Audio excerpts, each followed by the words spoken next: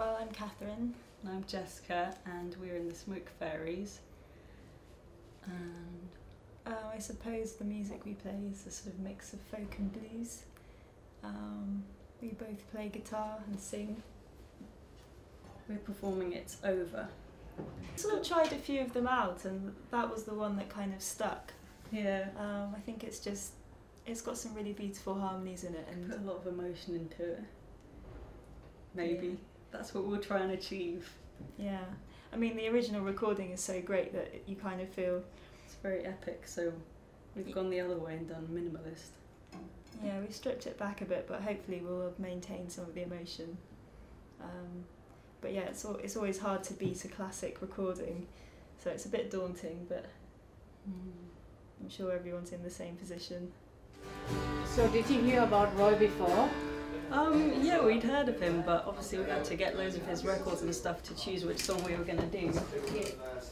And um, made us aware of how many great songs that he's actually written. It's just amazing that one person would have so much output. You know, when you when you look back on all So the songs, hits. yeah, and you just as you listen to more and more CDs to sort of choose a song, we were just like, I just can't believe all of these songs are written by one person. We couldn't choose one, it was really hard. Yeah, we had But this one you picked is just so beautiful the way you do it's it. so over. sad, isn't it? Yeah. I think that's what drew it, us to it, definitely. You know, my favorite line in the song is "You won't be seeing rainbows Yeah, anymore," isn't that it's- sad? It is. Yeah, it's very The sad. finality, huh? And also just the way the song develops to such a climax. I think that's what I like Mm. about it. It gets really intense. Yeah. Looking forward to playing it tonight. Good. Right.